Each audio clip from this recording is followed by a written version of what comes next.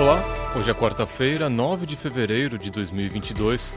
Eu sou Felipe Feminen e esta é a segunda edição do dia do Boletim de Notícias da DW Brasil. Confira nesta edição. Suécia segue a Dinamarca e também derruba as restrições anti-Covid. Deputado Kim Kataguiri vira alvo de pedidos de cassação e renúncia após fala sobre nazismo. OTAN admite tornar permanente presença militar nos Bálticos e na Polônia.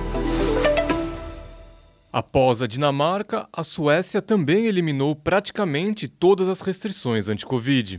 A partir desta quarta-feira, bares e restaurantes não precisam mais impor regras de distanciamento. A Suécia também aboliu limites de participantes em encontros e eventos, e o uso de máscara deixou de ser obrigatório no transporte público. O país também suspendeu os testes em larga escala para rastrear a Covid-19. A Suécia interveio pouco na pandemia e não decretou nenhum lockdown. E segundo o governo sueco, a pandemia está entrando numa nova fase, na qual a maioria da população está vacinada e com quadros leves em pessoas infectadas com a variante Omicron. A Organização Mundial da Saúde lançou um apelo para que os países mais desenvolvidos doem 23 bilhões de dólares para encerrar a pandemia em 2022. Grande parte do montante, 16 bilhões de dólares, seriam destinados ao acelerador ACT, uma iniciativa que a OMS e outras organizações internacionais criaram em 2020 para melhorar o acesso dos países mais pobres às vacinas, tratamentos e testes. Com o dinheiro, a OMS visa adquirir 600 milhões de doses de imunizantes, 700 milhões de testes tratar 120 milhões de pacientes e oferecer equipamentos de proteção para centenas de milhares de profissionais de saúde. A OMS adverte há meses de que a desigualdade entre os países é perigosa na pandemia, pois favorece o surgimento de novas cepas do coronavírus. Após fala sobre nazismo em podcast, o deputado federal Kim Kataguiri virou alvo de pedidos de cassação e de renúncia.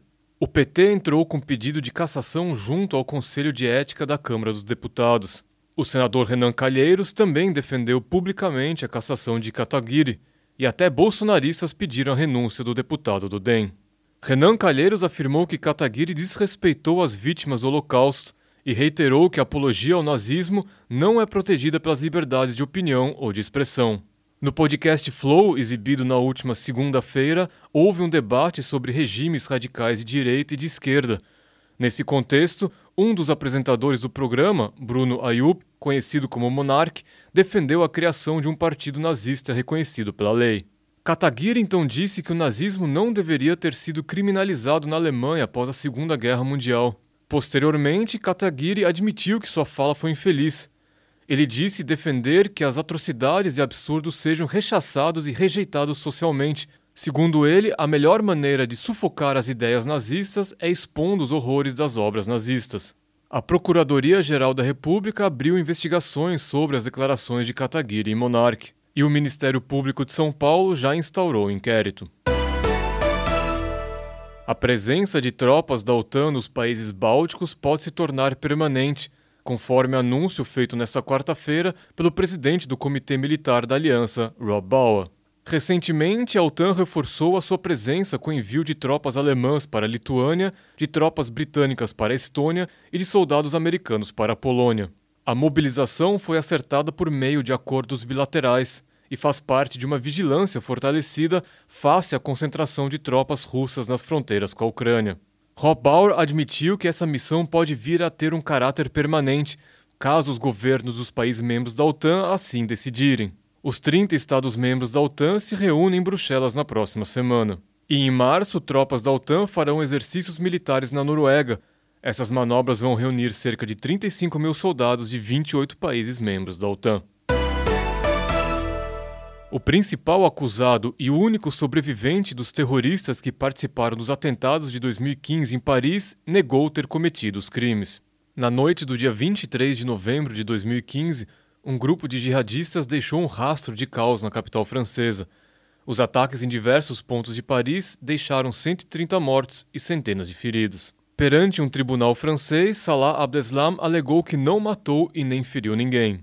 Ele admitiu que era apoiador do Estado Islâmico, mas criticou a justiça francesa, alegando que estaria sendo julgado de maneira caluniosa.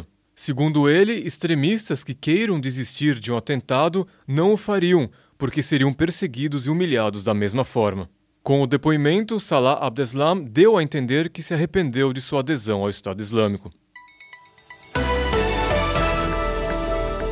Mais notícias você encontra no nosso site. Acesse dw.com/brasil.